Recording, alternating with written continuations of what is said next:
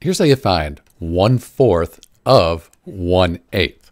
So it's good to think of it this way. If you have the of here, you have a fraction of a fraction here, you could just take the of and then you could write multiplication. So instead of 1 fourth of 1 eighth, we have 1 fourth times 1 eighth.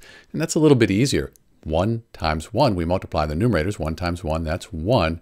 And then we multiply the denominators. 4 times 8, that's 32. So we end up with 1 fourth times 1 eighth, that equals 1 32nd. Or you could say 1 fourth of 1 eighth is 1 32nd. And note it doesn't matter if you have 1 fourth of 1 eighth or 1 eighth of 1 fourth, you're going to get the same answer. The order doesn't matter here with multiplication. It's Dr. B multiplying 1 fourth times 1 eighth. The answer, 1 32nd.